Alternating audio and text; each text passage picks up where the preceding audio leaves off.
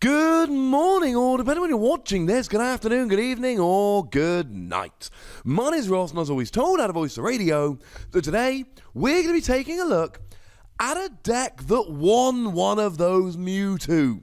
Now, I did a video a few days ago now showing you that over in Japan, you can enter a limited remix bout tournament sealed tournament. Think of it like a pre release, although with much higher stakes. And if you win that pre release, but only if you win the whole thing, you get yourself one of only 300 hyper rare Mewtwo in the world. These rainbow rares, there's 300 of them in the entire world. You got to win a pre release tournament to win one. So I thought, well, I follow a bunch of Japanese shops over on Twitter. So I thought it would be nice to show you what it takes, the kind of well, the kind of deck it takes to actually go ahead and win this tournament. So let's have a look, shall we? Now, couple things off the bat. This person did get themselves a couple of GXs. In any kind of pre release, it is always a good idea to get GXs.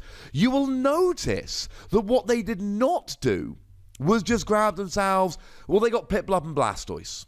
They didn't play that with 39 water energy. I don't think that is good enough in this kind of format. Now, the other thing is that these are going to be in our pre release over here. So, the other thing you are getting in this video is a nice little. Nice little preview of the kind of stuff that's going to be good in pre releases over here when Sun and Moon 12 Cosmic Eclipse comes out. So there is a Blastoise and Piplup, free water energy, you do 150, you attach free water energy from your hand to your Pokemon in any way you like, and every time you attach a water energy, you heal 50 from the Pokemon to whom you attached it. really good. GX attack does 150 plus paralysis, 250 in paralysis if you've got 6 energy on, that's fine. But really, here it's there for the first attack. But I did tell you that when it comes to Blastoise and Piplup, you need a way to get the energy on there for the first attack, and that's where Kyogre comes in. Kyogre's got a really nice attack for one colorless energy, attach two water energy from your discard pile to one of your Pokemon. That is incredibly good because it's a way of getting energy onto your Blastoise and Piplup to get rolling. Remember, you've got four prize decks here. So if you can lose two or even three prizes and then stick a Blastoise and Piplup out, your opponent is going to have to take it down in order to win the game. The only gusting in the set is Great Catcher, which discard two cards from your hand and then gust an EX or a GX into the active.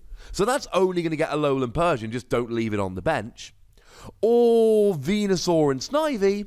So unless your opponent's got a Venusaur and Snivy, just make sure you've got no EX or GX on the bench. And then all of a sudden, they can have one prize remaining but be forced to take out a Blastoise and Piplup in order to win the game. That's kind of funny. Now, if you want to use Kyogre, you do have to discard the energy. We do have a great catcher here. There's also a copy of Acrobike. Look at the top two cards of your deck. Discard one, put one in your hand. That can get the energy in the discard. And then we've got two copies of Roller Skater here, whereby you discard a card from your hand and draw two. But if you discard an energy, you draw four cards instead. So there are a few options here for getting that energy into the discard. Now, really, Blastoise and Piplup is your best option here. Make no mistake about that. In terms of other attackers, we really don't have very much. We have a Alolan Persian, but really a Alolan Persian is here for the ability. The ability says prevent all effective attacks, including damage, done to this Pokemon by your opponent's tag team Pokemon, Ultra Beasts, and Pokemon with special energy attached. Now, there is both draw energy, when you attach it, you get to draw a card, and weak guard energy, which takes away your weakness in the set. And there's actually one copy of each of them in this deck.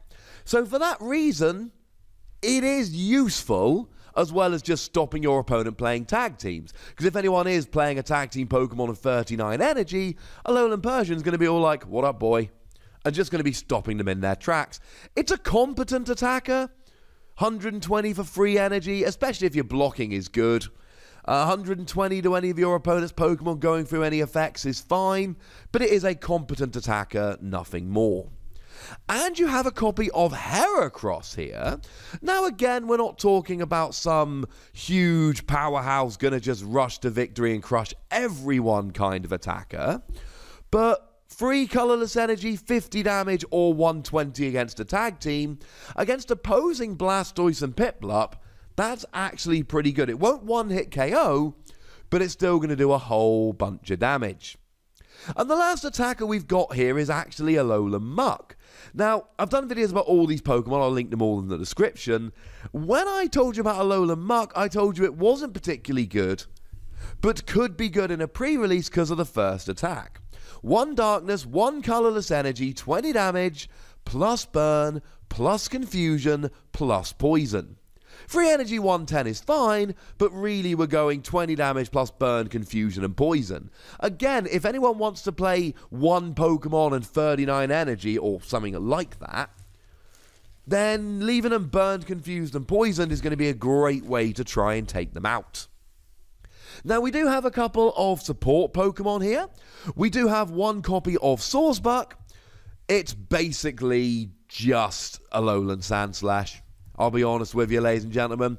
Once during your turn, you may draw a card. It does have a hit and run attack like a Alolan Sandslash, but you'll notice here that you're not actually playing any grass energy, so it's kind of irrelevant. You're not going to be attacking with it. We've got two copies of Phione here. Now, this is here for the ability. Again, we're not playing any water energy. When you're playing a pre-release, you have to you have to really choose which energy you're playing here. One water energy, 10 damage doesn't make you want to play water energy. But once during your turn, you may make your opponent switch their active with one of their bench. Now, your opponent gets a choice here. But again, when I said earlier about leaving a tag team GX active when you've only got one prize remaining, well, Phione is a great, great out to that. And as it's a counter, you can stop your opponent doing that, but they're also going to have an out against you trying to do that. And then there's two copies here of Rotom. Rotom, again, is just a get going kind of Pokemon. It's just there to set you up. One colorless energy, discard a card from your hand, draw two cards. So when I was talking about the discarding earlier, you can use Rotom. I didn't mention it earlier because now we're talking about using Rotom to discard the energy as an attack then using Kyogre to attach it as an attack, and then getting going with Blastoise and Piplup. It's far too awkward. You'd much rather just discard the energy with something like Roller Skater or Acrobike, but it is an option there does have a second attack, but it is for psychic energy, so it's entirely irrelevant because we're not playing any psychic energy. The Pokemon line here is quite strong. We've got Kyogre and Rotom just to set yourself up and get going. We've got Alolan Muk and Heracross as backup attackers. And then we've got Sawsbuck for consistency and Phione to make your opponent switch. Clearly, the goal of this deck is Blastoise and Piplup, but we've got other options. Now, in terms of energy, it's largely water for Blastoise and Piplup. For darkness energy, could be for Alolan Persian, but I think really here Alolan Muk is what you're using that for. One draw energy and one weak guard energy because they are good cards. Take away your weakness, draw a card. Yeah, I'll take that. Now, in terms of trainers, do remember this is a sealed, limited tournament, so you're not going to have the consistency you'd like. But we've got a Professor Oak setting, lets you search your deck for three different types of basic Pokemon and bench them. That's going to help you get rolling here, ladies and gentlemen. Especially when you consider you've actually got four different types of basic Pokemon here water, darkness, grass, and psychic. Yeah, that's going to be pretty gosh darn useful. One copy of Janine doesn't see a huge amount of play at the moment, and this is legal outside of Japan. But we got other options, not the case here. Look at the top four cards of your deck, put two in your hand, shuffle the rest into your deck it's decent search. Two copies of Roller Skater as mentioned, and then a copy of Judge. Not bad for disruption here. You give both players a new hand of four cards, but in a limited format like this, any draw is good. So this is going to be a draw card as much as a disruption card, although having both Rotom and Sawsbuck is going to help you with that consistency. And then in terms of the item cards here, we've got a couple of energy retrieval to get your energy back. Kind of useful. I mean, often it's just making sure that you've got the right energy in hand, to be honest with you. One Acrobike, little bit of consistency, might discard an energy. One Switch, because you want to make sure you've got the right Pokemon in the active, especially with Phione being a common and going to be popping up in a lot of decks. One Great Catcher, really good for if your opponent does have a GX, dragging it into the active. One copy of Energy Switch lets you move an energy from one of your Pokemon to another. It's really nice if you have to put an energy in the wrong place in the early game to switch it over, especially given we have very little Pokemon search. And we do have very little. We got Professor Oak setting and then one copy of Pokemon Communication. Lets you swap a Pokemon in your hand you don't want for a Pokemon in your deck you do want. I like this deck. It's a really good example of how to make a limited deck. Remember, these tournaments were 32 or 64 people, but you were competing for a card which is going to be worth hundreds of dollars, possibly even more. If you get this Mewtwo graded, it is going to become an extremely valuable card. That makes this an extremely competitive tournament. Your average pre release, this is not, ladies and gentlemen. This is the kind of thing it takes. And you see, yes, we've got the big tag team GX and it's sitting there smashing, but do you really think he's the only one who got a tag team GX in his deck? He's got things like the Alolan Muk there to slow his opponent down. The Sawsbuck for a little bit of consistency. The Rotom and the Kyogre as early game attackers. Or to set yourself up. Double Phione. These are the kind of decisions that make the difference between winning and losing. So you wanted to know what it would take to get one of those hyper rare Mewtwo? This, ladies and gentlemen, this is what it would take. But now we've reached that point in the game where I'd very much like to know what you think about this deck.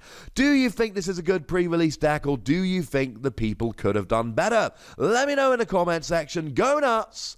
Be nice. And then make sure you like this video, subscribe to this channel, follow me on Twitter at the Wossy, and Twitch for some live action at twitch.tv slash PTCG Radio.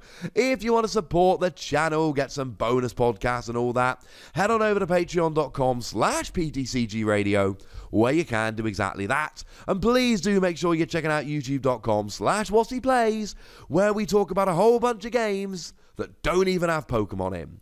But by far the most important thing as always, look after yourselves till next time. Thank you very much for watching. My name's Ross and you've been watching PTCG Radio.